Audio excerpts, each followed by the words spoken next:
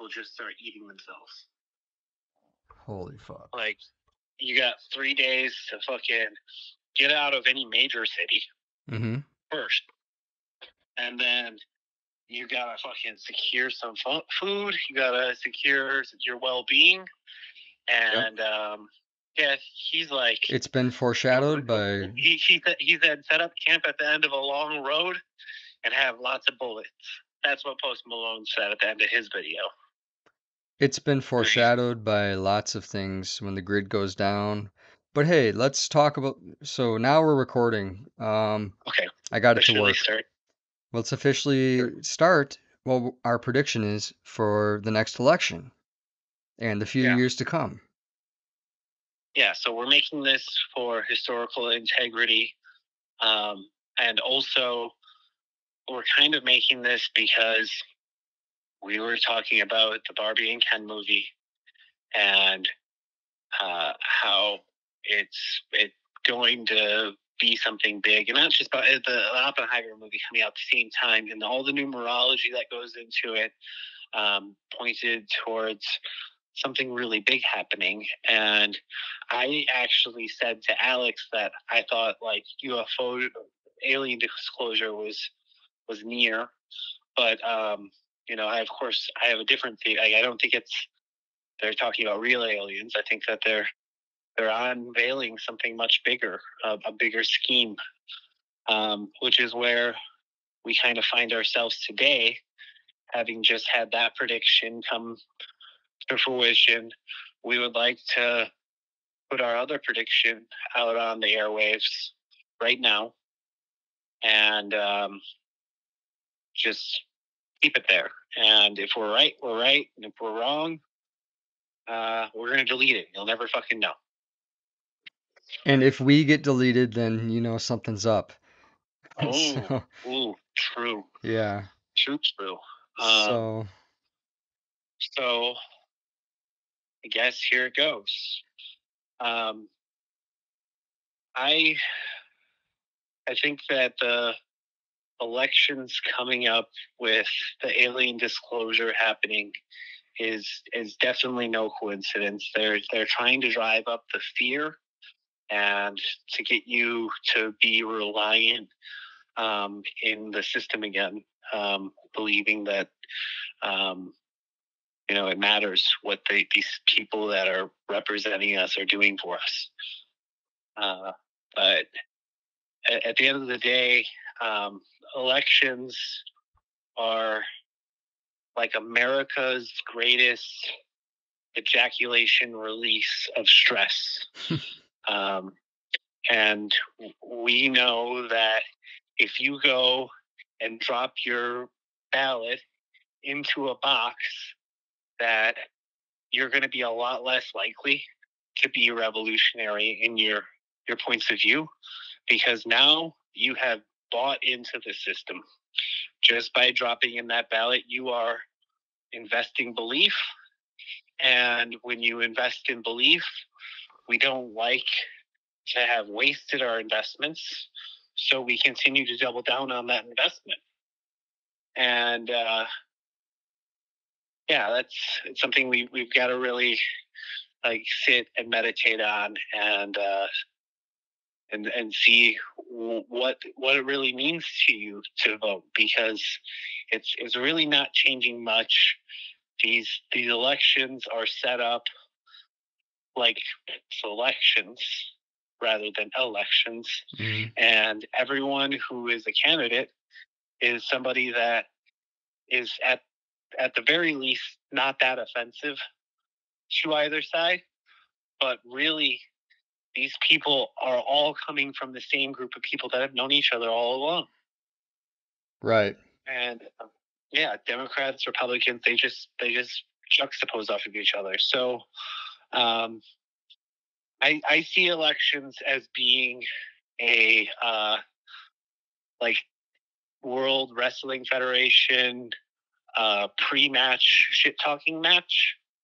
Like they are there to make things explosive in the comment section and get people excited and they are there to sell tickets Absolutely. And, and that's it.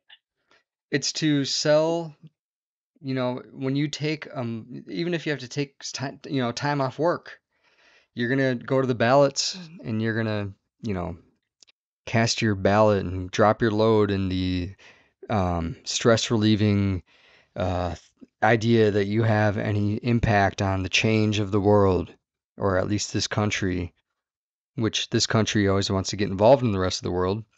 So, our prediction is basically that Joe Biden is going to be considered unable to do his job by whatever means they, you know, explain. And then obviously um, Harris will come in as president, and the country's not going to really like. They already don't like her, so she's going to make an ass of herself.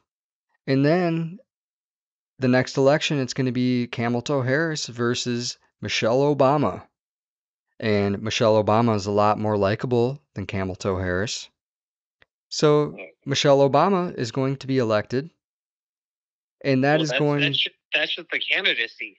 They're just gonna be gonna be uh, potential candidates next to each other.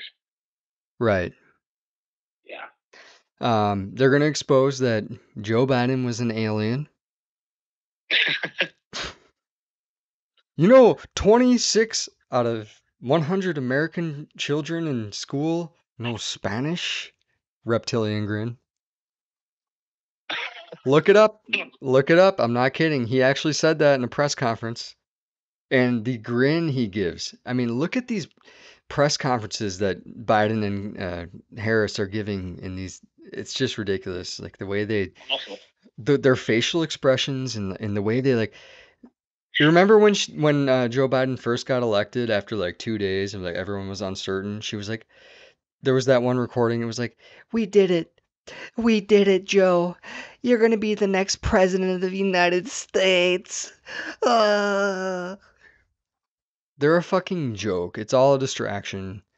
They just put Donald Trump in office because he was so radical, and then yet they, you know, put in a, someone who they don't think is going to be as radical, but is on a different level. So it's all radical. Um, there is no left or right, really. There, there's no fucking reason to fucking have confidence in, you know, Democrat or Republican at this point.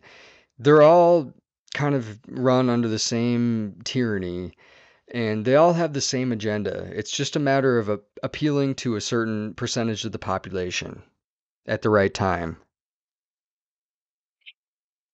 Yeah.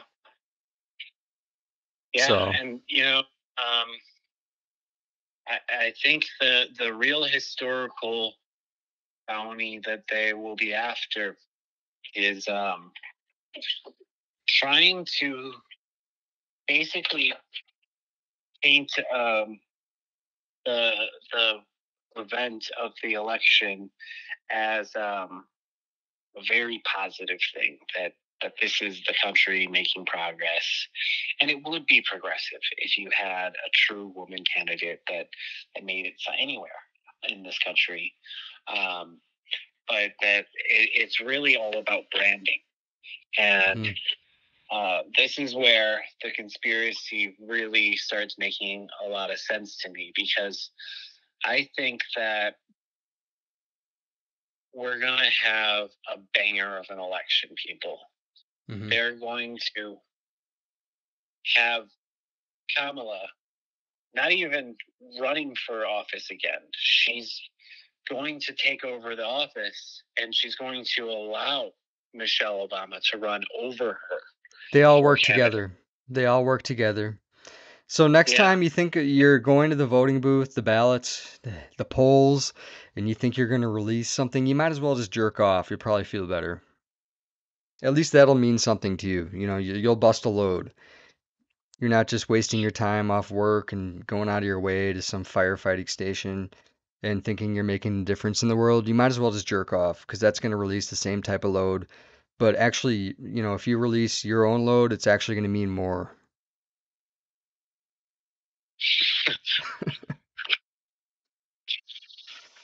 yeah, and uh, I, I just, I, I really think that they they see it as a prize. Um, like They want your energy. They want They your energy. if, if you really consider that they're just looking for pieces of propaganda, just imagine the poster that it'll make.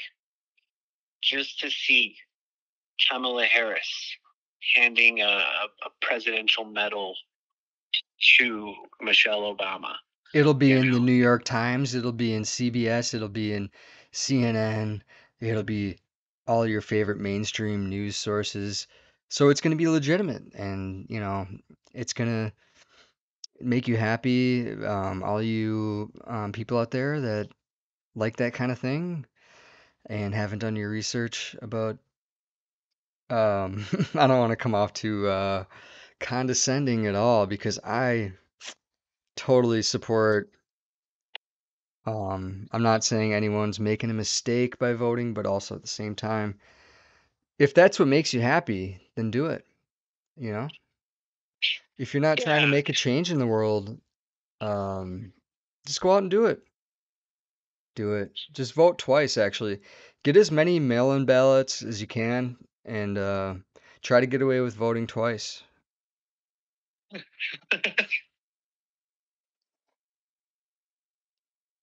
Fuck off, Alex. And if you think Fuck that off. if you think that You this is Say that.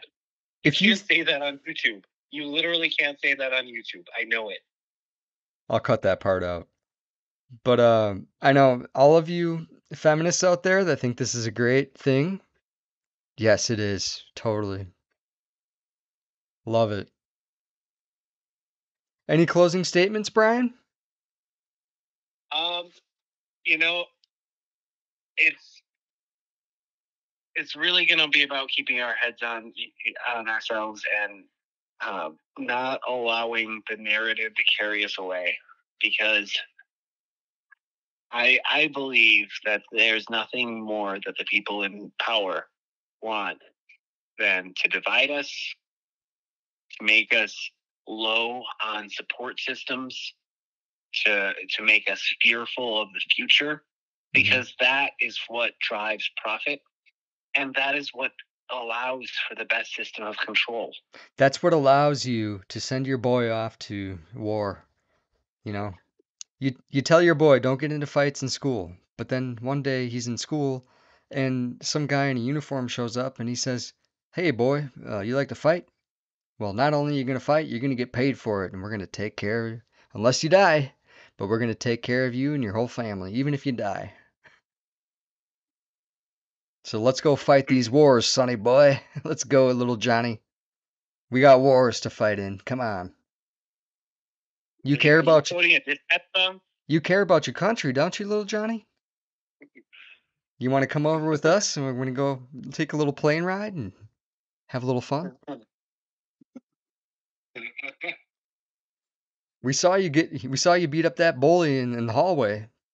I think you can do a great service to our country. Oh boy well so that's it That's it. um We just wanted to make a short thing. Uh, look forward to more episodes. This is just going to be a little kind of prelude to a lot of topics we're going to get into. yeah and and it is the beginning of august 2023 It's and we are we are in for a bumpy fucking ride Mhm. So put on your fucking children's seatbelts, Put on the Barbie movie. chop up that fucking line. Mm-hmm. Let's fucking go. Let's chop up a line of freedom together. Chop up the line of freedom. You got to snort it off an American flag though, otherwise it doesn't count. All right, we love you guys. You know, obviously we're joking around about a lot of stuff like and quite frankly, we don't care if you think we're offensive. Just turn it off. You didn't have to listen to this. There's a million other podcasts to listen to. Just turn one of those on. Turn on Joe Rogan. political, uh, political comedians with uh, an emphasis on the truth. Um, but hmm um, I really feel like the, these records are going to be essential someday. Yes, and obviously we're joking around a lot, but there is a lot of uh, deeper shit that if you, well, we'll like we'll save that for other episodes. Um, thank you for listening, everybody, uh, to the Watering Whole podcast with me and Novel T and Sir Brian Hatrick. Uh, we will be back whenever we're back. We got a lot of stuff to do. You know, Brian's got a lot of windows to clean. I have a lot of tables to serve, and you know, the American people, they're very hungry for this information. Some of them, not all of them, but we'll be back. Love you guys. Peace and love.